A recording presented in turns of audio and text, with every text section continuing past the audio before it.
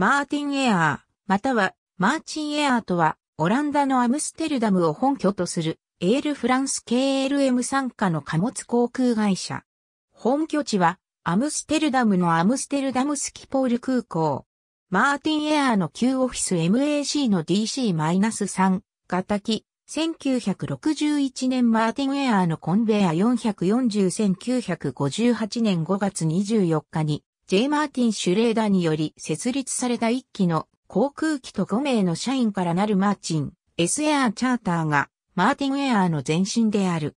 1963年にシュレーダーは会社の株式の49%を均等に分割した上で4社に売却した1社に合併。さらにシュレーダーが保有していた50%超の株式も後に KLM オランダ航空が買い取った。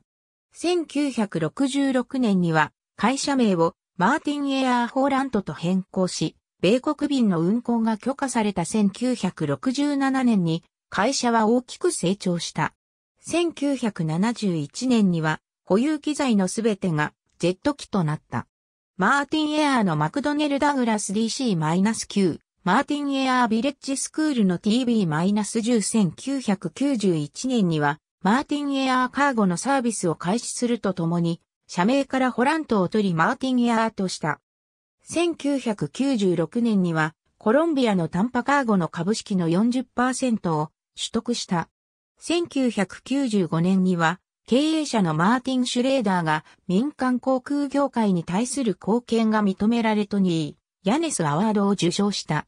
彼は1998年に常勤役員から引退している。同年、欧州委員会は KLM がネドロイドから残りの株式を購入する申請を却下し、完全子会社化を否定した。2003年にはタンパカーゴの株式を買いまして、保有率58%の主要株主となった。マーティンエアーのボーイング757マーティンエアーのエアバス A320-2007 年6月22日、マーティンエアーは KLM による完全買収を望んでいる旨を公表した。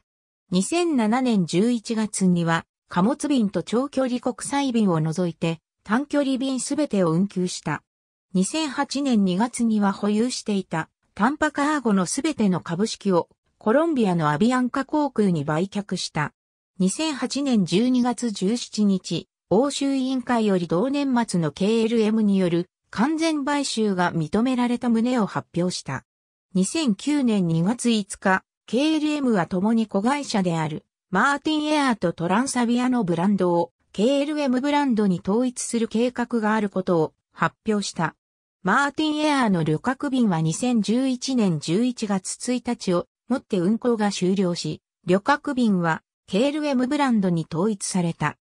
以降はマーティンエアーカーゴのみ運行している。B767 から 300ERPH、MCH ボーイング747から400バイト C 回、マクドネルダグラス MD-11、KLM カーゴのボーイング747から400アーフ2018年現在、保有機材は B747 から400バイト CF1 機のみ。